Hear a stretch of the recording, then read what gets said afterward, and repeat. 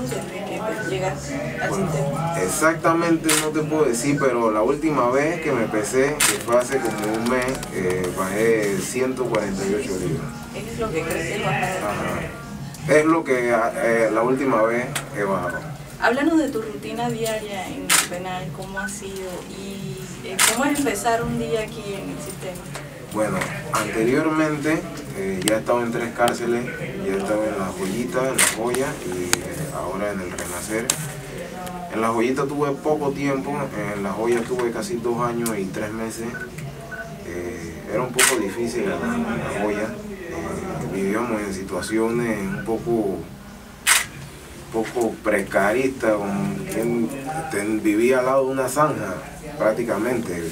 Estaba mi cuarto aquí, mi, mi- mi- pequeño espacio, porque se le puede decir cuarto, búnker, como se le conoce, y la ventana, ahí mismo estaba la zanja donde pasaba agua negra, agua de todo, y, bueno, creo que, que pasamos la prueba, no nos enfermamos porque tener algo así tan cerca puede traer una enfermedad.